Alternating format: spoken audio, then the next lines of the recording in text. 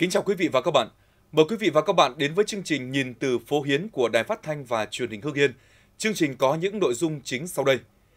Thái Nguyên sớm hỗ trợ cho người chăn nuôi thiệt hại do dịch tả lợn châu Phi. Hải Dương tăng cường kiểm soát chất lượng dược liệu. Em Lương Thị Thu Hà, học sinh trường Trung học cơ sở Thủ Sĩ huyện Tiên Lữ, tỉnh Hưng Yên, nhận được 8 chỉ vàng trả lại người bị mất. Để mạnh cơ dây hóa trong sản xuất nông nghiệp ở Ninh Bình. Thưa quý vị và các bạn, Cục xuất nhập khẩu Bộ Công Thương vừa có báo cáo về tình hình giá thịt lợn và các giải pháp đảm bảo nguồn cung thịt lợn dịp trước và sau Tết Nguyên đán canh tí 2020. Theo đó, giá thịt nhập khẩu đang có xu hướng tăng nhanh trong bối cảnh giá thịt lợn trong nước bắt đầu có dấu hiệu giảm nhẹ.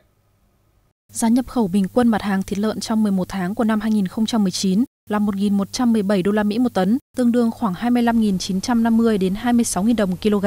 Thịt lợn nhập khẩu khi đưa ra thị trường phải chịu nhiều mức thuế, thuế nhập khẩu, thuế giá trị gia tăng 5%, chi phí, thủ tục nhập cảnh, bảo quản kho lạnh, tương đương khoảng 33 đến 35.000 đồng một kg.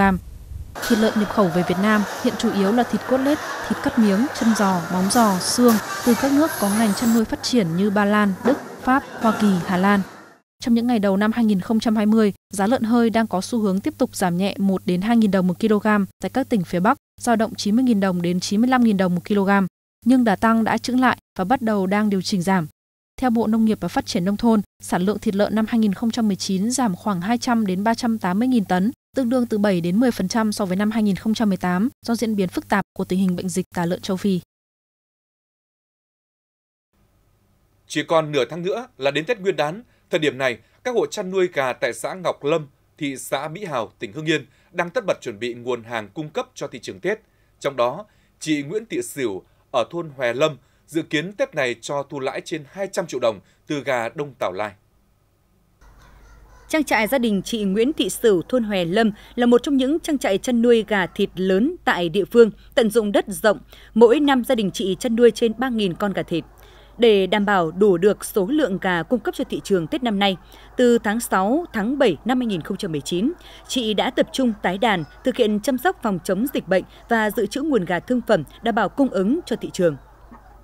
Theo chị cho biết, cá đông tảo lai dễ nuôi, kháng bệnh tốt lớn nhanh hơn so với các giống gà khác, lại được thị trường tiêu thụ mạnh. Dự kiến trong dịp Tết năm nay, chị cung ứng ra thị trường khoảng trên 2.000 con gà thịt với sản lượng 6 tấn, với giá từ 13 đến 15.000 đồng kg, trừ chi phí cho thu lãi trên 200 triệu đồng. Hiện dịch tả lợn châu Phi trên địa bàn tỉnh Thái Nguyên đã cơ bản được kiểm soát. Mặc dù vậy, những thiệt hại và ảnh hưởng của dịch bệnh đến ngành nông nghiệp và người chăn nuôi là rất lớn. Nhiều hộ gia đình đã lâm vào cảnh khánh kiệt, nợ nần do dịch tả lợn. Trước thực tế đó, các địa phương khẩn trương chi trả nguồn kinh phí hỗ trợ cho các hộ chăn nuôi để họ phần nào phơi bớt khó khăn, khôi phục sản xuất và ổn định cuộc sống. Xã Xuân Phương là địa phương thứ 14 huyện Phú Bình chi trả tiền hỗ trợ cho người dân thiệt hại do bệnh tả lợn châu Phi. Với cách thức thống kê nhanh gọn, chính xác từ khi tiêu hủy cùng việc dán niêm yết công khai ở trụ sở xã để người dân biết và thực hiện theo dõi chéo, tránh trường hợp kê khai không chính xác đã giúp việc chi trả hỗ trợ diễn ra thuận lợi, nhanh chóng. Ờ, gia đình tôi có 17 con lợn ờ, tiêu hủy ờ, và đã hỗ trợ được 26 triệu. Khi được hỗ trợ này chúng tôi rất phấn khởi. Chúng tôi là có một ít vốn để chúng tôi lại tái đàn, chúng tôi chăn nuôi tiếp. Bây giờ nhà nước quan tâm để hỗ trợ như thế thì bà con cũng thấy phấn khởi. Bây giờ về để xem xét như nào nếu mà giá cả mà nó ổn định thì lại tái đàn để nuôi tiếp. Vì chúng tôi nhà nông chỉ có sống với chăn nuôi thôi. Phú Bình là huyện đầu tiên trên địa bàn tỉnh xuất hiện dịch tả lợn châu Phi. Trong vòng 7 tháng xuất hiện, dịch bệnh đã lan ra 19 trên 20 xã, thị trấn. Với số lợn mắc bệnh, nghi mắc bệnh buộc tiêu hủy là trên 22.000 con, chiếm khoảng 15% tổng đàn. Tổng kinh phí chi trả hỗ trợ người dân là 39,2 tỷ đồng. Công khai niêm yết trước thời gian chi trả là 30 ngày. Các hộ dân trên địa bàn các xã à, được à, kiểm tra lẫn nhau và không có thắc mắc gì thì là à, đoàn công tác của huyện sẽ tiến hành chi trả. Bệnh dịch tả lợn châu Phi cũng xuất hiện trên địa bàn huyện Đồng Hỷ từ tháng 4 năm 2019 và bùng phát ra 15 trên 15 xã, thị trấn trên địa bàn. Tổng số lợn mắc bệnh, nghi mắc bệnh buộc phải tiêu hủy là trên 17.000 con, chiếm 29% tổng đàn. Nguồn kinh phí phải hỗ trợ cho các hộ nuôi có lợn tiêu hủy là trên 25 tỷ đồng. Đến nay, huyện đã giải ngân được khoảng 6,8 tỷ đồng, số còn lại đang khẩn trương lập thẩm định danh sách đề nghị hỗ trợ của các xã, thị trấn, niêm yết công khai danh sách hỗ trợ theo quy định để giải ngân hỗ trợ cho chủ nuôi có lợn bị tiêu hủy trên địa bàn, trong đó đặc biệt đảm bảo đúng, chặt chẽ về mặt quy định, hồ sơ, thủ tục chi trả, À, thực hiện giải ngân theo à, đúng quy định. À, tuy nhiên thì à, đây, cái số mà kinh phí mà à, của trung ương và của tỉnh hỗ trợ cho huyện thì nó chưa được đủ so với lại cái số lợn bị à, buộc phải tiêu hủy. Tính đến ngày 10 tháng 12, dịch tả lợn châu Phi đã xảy ra tại 175 xã, phường, thị trấn ở cả 9 huyện, thành, thị trên địa bàn tỉnh. Với tổng số lợn mắc bệnh, nghi mắc bệnh buộc phải tiêu hủy là trên 150.000 con, chiếm 22% tổng đàn, trọng lượng là trên 9.200 tấn thịt lợn. Tổng kinh phí chi cho công tác phòng dịch và hỗ trợ các chủ nuôi tính đến ngày 30 tháng 10 là trên 320 tỷ đồng. Theo quy định tại quyết định số 793 ngày 27 tháng 6 năm 2019 của Thủ tướng Chính phủ, Thái Nguyên nằm trong số các tỉnh được ngân sách trung ương hỗ trợ 70%, còn lại 30% là từ ngân sách địa phương. Đây cũng là một trong những nội dung được các đại biểu quan tâm tại kỳ họp thứ 10. Hội đồng Nhân dân tỉnh Thái Nguyên khóa 13 và được Giám đốc Sở Nông nghiệp và Phát triển Nông thôn giải trình làm rõ. Tính đến hiện nay thì ờ, chúng ta đã bố trí được 300 tỷ 722 triệu đồng cho công tác phòng chống dịch và hỗ trợ chủ nuôi trên địa bàn tỉnh. Thì tuy nhiên rằng là do cái cân đối rồi cái hỗ trợ kinh phí của trung ương nó chậm, đề nghị các huyện, thành phố, thị xã tập trung kiểm tra giám sát chặt chẽ và đẩy nhanh tiến độ giải ngân hỗ trợ các cái chủ nuôi, đồng thời tiếp tục giả soát tổng hợp số kinh phí còn thiếu để báo cáo Ủy ban nhân tỉnh để giúp người chăn nuôi thiệt hại do bệnh dịch tả lợn châu Phi vơi bớt khó khăn, có nguồn vốn tái sản xuất, rất cần các địa phương đẩy nhanh chi trả kinh phí hỗ trợ người chăn nuôi. Bên cạnh đó, vẫn cần chú trọng đến công tác phòng chống dịch bệnh, khử độc tiêu trùng, không để dịch bệnh bùng phát trở lại. Đưa cơ giới hóa vào sản xuất nông nghiệp đã và đang được các địa phương trong tỉnh Ninh Bình triển khai thực hiện và mang lại hiệu quả tích cực, làm tăng giá trị trên đơn vị diện tích và thu nhập cho nông dân.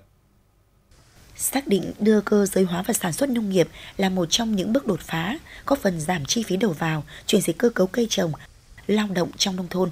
Vì vậy, được các địa phương tập trung triển khai, trong đó khuyến khích tập thể, hộ nông dân mạnh dạn mua sắm máy móc thông qua cơ chế chính sách hỗ trợ của nhà nước, của tỉnh, đồng thời tạo điều kiện hành lang pháp lý cho nông dân thực hiện dồn điền đổi thừa, tích tụ ruộng đất, xây dựng cánh đồng mẫu lớn, tạo điều kiện áp dụng cơ giới hóa, Đến nay có trên 90% khâu được cơ giới hóa, tiêu biểu như làm đất đạt 97,4%, tưới nước đạt gần 91%, thu hoạch gần 86%, vận chuyển gần 93%.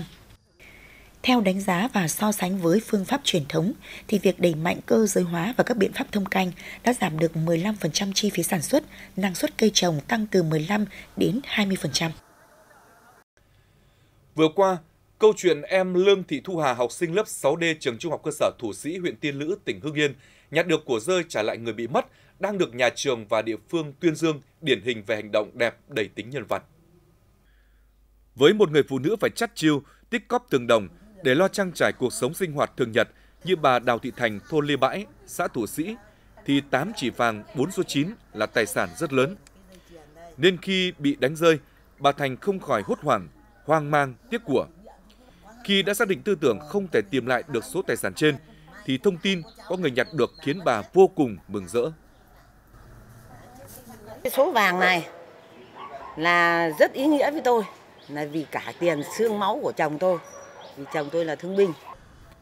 Trước đó vào khoảng 12 giờ 30 phút ngày mùng 6 tháng 1, trên đường tới trường, khi đi qua khu vực chợ Ba Hàng, em Lương Thị Thu Hà có nhặt được một chiếc túi vải màu đỏ. Bên trong có một sợi dây chuyền và một chiếc nhẫn vàng. Vào buổi chiều cùng ngày, sau khi xác định thông tin chính xác về chủ tài sản, em Hà và gia đình đã trao lại toàn bộ số vàng trên cho người bị mất. Vì em là một đội viên, em luôn ờ, nghĩ về phải trung thực và nhặt được của rơi phải trả lại người mất ạ. Được biết ở lớp, Hà là lớp phó học tập, luôn chăm ngoan, học giỏi, lễ phép với thầy cô, thường xuyên giúp đỡ bạn bè để cùng nhau tiến bộ. Em tích cực tham gia các hoạt động phong trào thi đua của trường, của lớp phát động.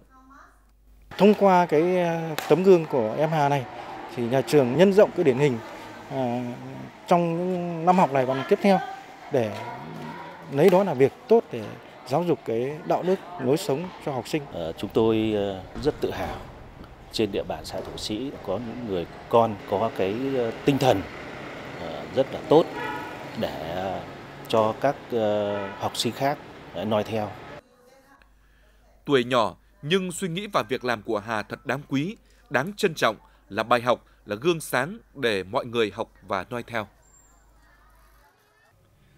Với những trang thiết bị hiện đại, mô hình phòng học thông minh được triển khai thí điểm tại các trường trung học cơ sở và trung học phổ thông trên địa bàn tỉnh Bắc Ninh đã bước đầu phát huy được hiệu quả, được đông đảo giáo viên và học sinh đón nhận.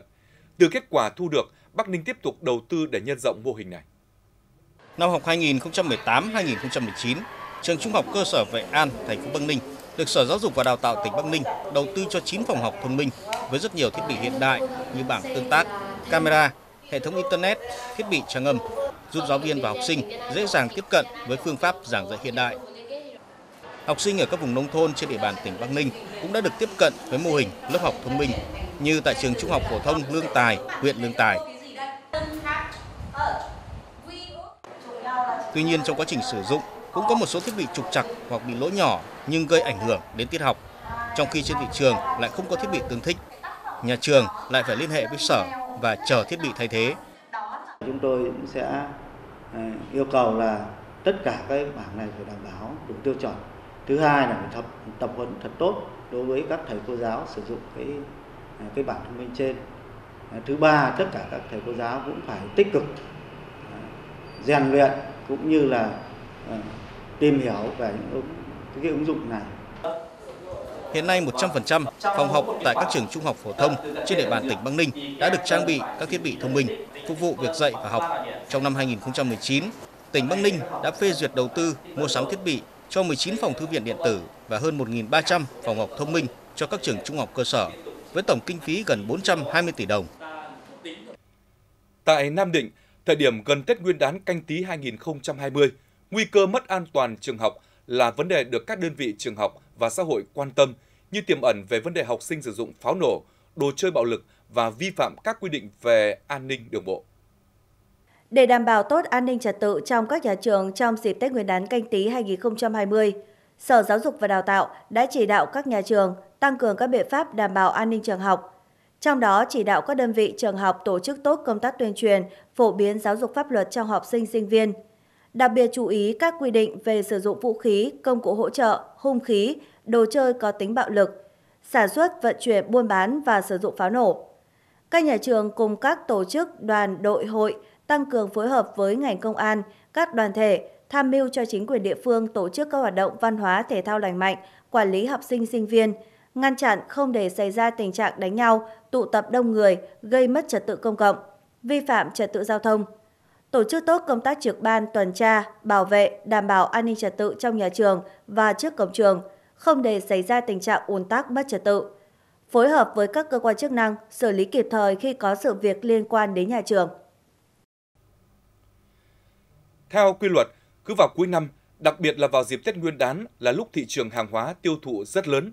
Đây cũng chính là thời điểm hoạt động gian lận thương mại, buôn bán hàng giả, hàng kém chất lượng xuất hiện nhiều hơn – vì vậy, Cục Quản lý Thị trường tỉnh Hưng Yên đã và đang triển khai nhiều biện pháp tích cực để ngăn chặn tình trạng này. Các mặt hàng vi phạm bị bắt giữ xử lý chủ yếu gồm quần áo, giày dép, thuốc bảo vệ thực vật, mỹ phẩm, dầu quầy đầu, giả nhãn hiệu, phụ tùng xe máy giả nhãn hiệu Honda, rượu trắng tự nấu, trị giá hàng hóa tịch thu, tiêu hủy trên 320 triệu đồng.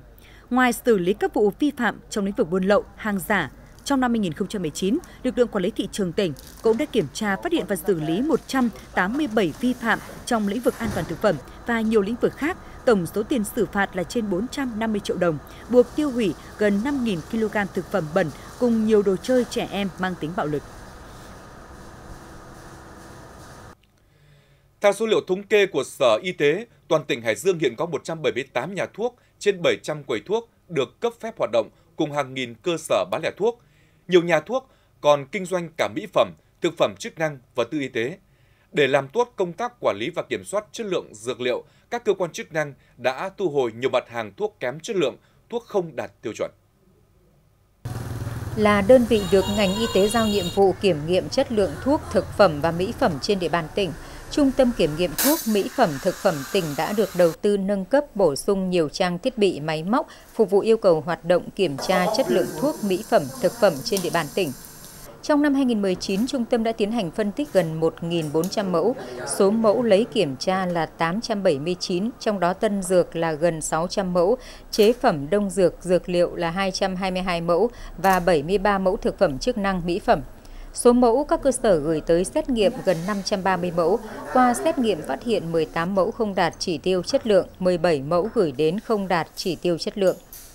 Để tăng cường công tác giám sát phân tích các mẫu thuốc, trong thời gian tới, ngành y tế sẽ chỉ đạo thanh tra kiểm tra việc thực hiện các quy định quản lý về dược, giám sát việc chấp hành quy chế chuyên môn về dược tại các cơ sở khám chữa bệnh cũng như các đơn vị kinh doanh thuốc trên địa bàn tỉnh, đảm bảo không có thuốc kém chất lượng, thuốc giả, thuốc không rõ nguồn gốc lưu hành trên thị trường.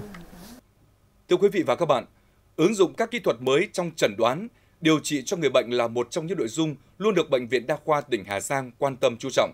Nhiều dịch vụ kỹ thuật mới được triển khai trong năm 2019 đã giúp cho hàng nghìn lượt người bệnh nặng không phải chuyển lên tuyến trung ương.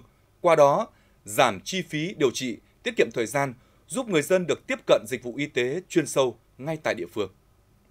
Nhờ tích cực chuyển giao khoa học kỹ thuật, áp dụng kỹ thuật tiên tiến nên trong nhiều năm qua, Bệnh viện Đa khoa tỉnh đã chẩn đoán, điều trị được nhiều ca bệnh khó, phức tạp. Năm 2019, bệnh viện ứng dụng được 25 kỹ thuật mới, nổi bật là kỹ thuật đo tải lượng virus viêm gan A, B, C, chụp đáy mắt không huỳnh quang, máy thở cao tần, thiết bị laser châm, máy tẩm tách siêu lọc máu. Với các kỹ thuật mới được triển khai, từng bước đáp ứng yêu cầu khám chữa bệnh, giúp người dân được hưởng những dịch vụ kỹ thuật cao. Việc triển khai các kỹ thuật mới giúp Bệnh viện Đa khoa tỉnh không ngừng phát triển, khẳng định được vị thế của mình là đơn vị tiên phong trong lĩnh vực áp dụng khoa học kỹ thuật mới của ngành y tế Hà Giang, trở thành địa chỉ tin cậy của bà con nhân dân trong và ngoài tỉnh về bảo vệ, chăm sóc và nâng cao sức khỏe cho nhân dân. Mười Moi là bản đồng bào dân tộc Cống, nằm khuất sau những dãy núi ở vùng biên giới Pan Thơm, huyện Điện Biên, tỉnh Điện Biên. Những năm qua mặc dù đã được hưởng nhiều ưu đãi từ chương trình xóa đói giảm nghèo, nhưng do địa hình chia cắt không thuận lợi cho phát triển kinh tế, nên tỷ lệ đói nghèo trong bản còn cao. Những căn nhà sơ xác, hoang tàn, đất đai cằn cỗi, thiếu màu xanh của cây cối, thiếu nước. Đó là ấn tượng ban đầu của nhóm phóng viên khi tới bản Hủy Moi. Đến giờ, Hủy Moi vẫn là bản nhiều không, không điện lưới quốc gia, không sóng điện thoại, không nguồn nước sạch. Điện chưa có, nước thì thiếu, đời sống của bà con còn vất vả quá. Không có cái kiến thức, trồng cây gì cũng không lên, nuôi con gì cũng không sống được. Rất mong đảng, nhà nước quan tâm hơn để bà con có điều kiện phát triển kinh tế. Cách trung tâm xã Pa Thơm gần 30 km, Hủy Moi luôn làm khó mọi người khi muốn đến đây vì thiếu đường nhựa, đường bê tông. Do không có nước sạch, bà con trong bản phải tự lấy nước bằng đường ống dẫn về từ các khe suối. Nhưng nguồn nước này không phải khi nào cũng có sẵn. Thiếu nước, nhiều nhà phải chia sẻ với nhau.